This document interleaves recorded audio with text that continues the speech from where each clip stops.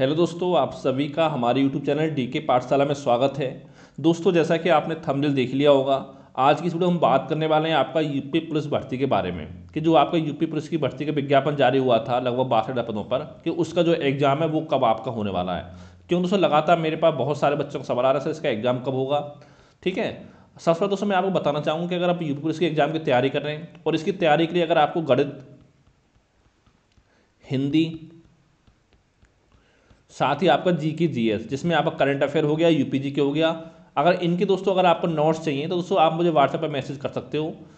ठीक है यूपी जी के हो गया यूपी करंट अफेयर और साथ में आपका इंटरनेशनल करंट अफेयर अगर इन सब, सभी सब्जेक्ट के अगर आप नोट्स लेना चाहते हो पीडीएफ नोट्स तो दोस्तों, ये मेरा व्हाट्सअप नंबर है seven zero four two six five four two zero nine ठीक है, इस नंबर पर आप मुझे मैसेज करिए यूपी पुलिस कांस्टेबल नोट्स ठीक है? आपको नोट्स प्रोवाइड करा दी जाएँगे। अब दोस्तों, हम बात करते हैं इसके एग्ज़ाम डेट को लेकर के। जैसे दोस्तों, पहले आपने सुना था कि जो इसका एग्ज़ाम था पहले दोस्तों आपका 11 फरवरी को आयोग की कराने की तैयारी थी। जैसे मैंने बोला था कि उस दिन आपका R O A R O का एग्ज़ाम है तो इसलिए ग्यारह फरवरी को जो आपका एग्ज़ाम है, वो आपका नहीं हो पाएगा। फिर दोस्तों, देखिए, जो डेट आपकी निकल के आ रही समय, कि जो आपका एग्ज़ाम है, वो दोस्तों आपका अठारह फरवरी को होने जा रहा है, ठीक है? यानी दोस्तों, देखिए, इसमें आपकी एग्ज़ाम डेट घोषित नहीं होगी।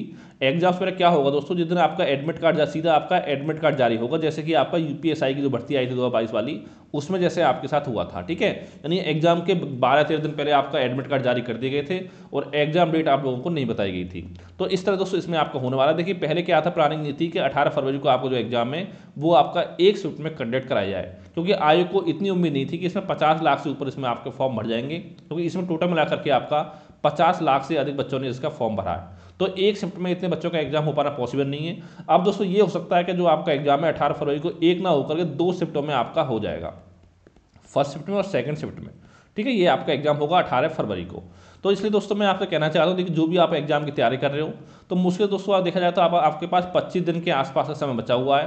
तो आप अपनी तैयारी अच्छे से करते रहिए। और दोस्तों, आज शाम को वीडियो बना दूँगा, मैं आपको बता दूँगा पूरी रणनीति कि कौन सी किताब पढ़नी चाहिए, कहाँ से कैसे आपको तैयारी करनी है, उसके बारे में सारी जानकारी आपको दे दी जाएगी। तो इतना ही कहना चाहता हूँ कि आप अठारह फरवरी को एग्ज़ाम डेट मानकर अपनी तैयारी करते रहिए। अगर दोस्तों कोई आपको मन में डाउट हो या सवाल हो तो मुझे व्हाट्सएप पर आप मैसेज करके पूछ सकते हो या नीचे कमेंट करके आप पूछ सकते हो।